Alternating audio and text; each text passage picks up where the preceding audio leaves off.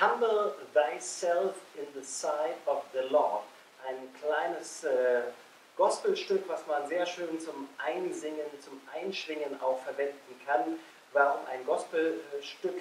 Ihr werdet es vielleicht schon selber wissen. Gospel hat äh, im Chorgesang gerade für den populären Bereich total viel äh, nach vorne gebracht hat. Ne? Ohne Gospelmusik gäbe es den gesamten Popchor, wie wir ihn heute haben, oder auch Jazzchor überhaupt nicht. Deswegen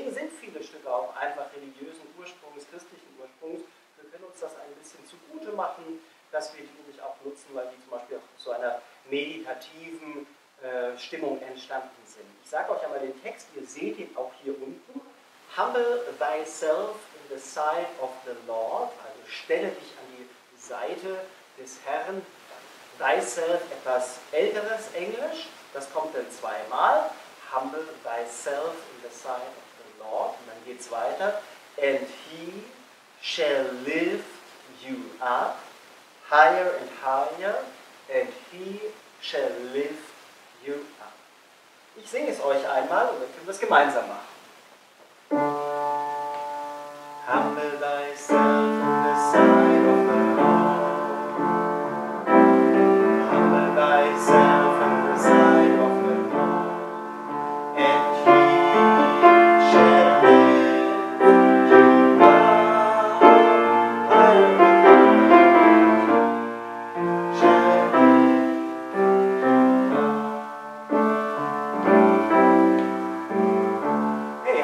Haben